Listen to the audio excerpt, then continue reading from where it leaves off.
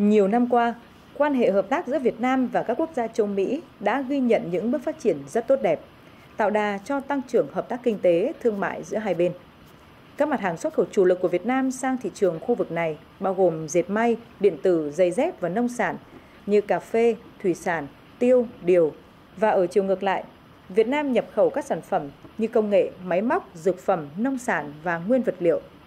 Theo số liệu thống kê, kim ngạch xuất khẩu của Việt Nam sang thị trường châu Mỹ trong năm 2023 đạt 114,5 tỷ đô la Mỹ, đã cho thấy tiềm năng hợp tác thương mại giữa hai bên còn rất lớn.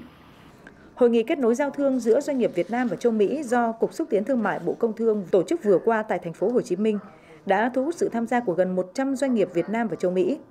Đây không chỉ là sự kiện giao thương mà còn là nền tảng để các doanh nghiệp hai bên xây dựng mối quan hệ hợp tác lâu dài, góp phần nâng cao năng lực cạnh tranh và phát triển kinh tế bền vững.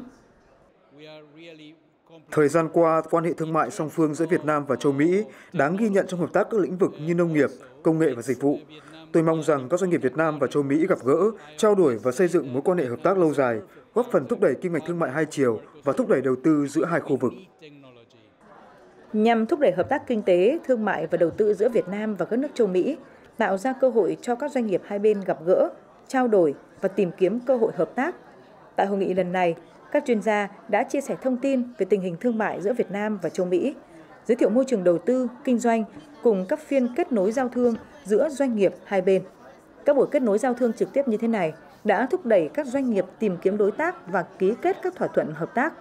Chúng tôi nhận thấy đây là cơ hội rất tốt để cho các doanh nghiệp Việt Nam là được tiếp cận, trao đổi trực tiếp với các nhà nhập khẩu, các doanh nghiệp đến từ khu vực châu Mỹ để qua đó giới thiệu các sản phẩm thương hiệu của mình, tìm kiếm cơ hội kết nối kinh doanh. Và đặc biệt là cũng có thể tìm hiểu được về môi trường đầu tư kinh doanh của ờ, các nước khu vực châu Mỹ để có thể ờ, tìm kiếm những cái cơ hội không chỉ riêng trong hoạt động thương mại xuất khẩu mà trong cả cơ hội đầu tư. Vì thị trường châu Mỹ là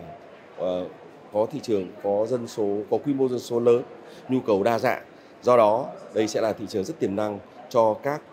sản phẩm có thế mạnh của Việt Nam đặc biệt là các sản phẩm nông thủy sản thực phẩm chế biến của Việt Nam có thể thông qua những hoạt động giao thương kết nối tiến sâu vươn xa vào thị trường châu Mỹ. Những hội thảo như thế này, đặc biệt là hội thảo của thị trường châu Mỹ là một trong những là thị trường chính trọng yếu của công ty, cho nên đây là cơ hội rất tốt cho các doanh nghiệp để tiếp xúc với những à, khách hàng mới